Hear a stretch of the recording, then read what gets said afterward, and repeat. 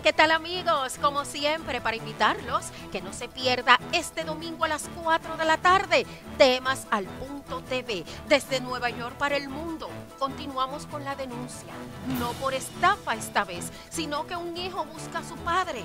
Hablamos con sus familiares. Entérese este domingo, porque la realidad es que es un hecho conmovedor, es una historia hermosísima y nosotros se la vamos a presentar completita en temas al punto TV este domingo.